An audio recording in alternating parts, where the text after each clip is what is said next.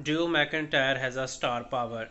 He was the one best during the when Roman Reigns gone with the leukemia, so he was getting the push. But then Roman Reigns came back and get the place. We know that Clash at the Castle pay-per-view event was nearly sold out because of Drew McIntyre's name because everyone was wanting to see Drew McIntyre as a star who winning the championship in front of different crowds.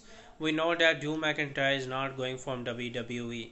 WWE need to give him as money as he wanted so he do not go to the AEW because if he went there AEW will sold out the stadium they wanna show it at at the August so this is Drew McIntyre who has a potential to do company's favor.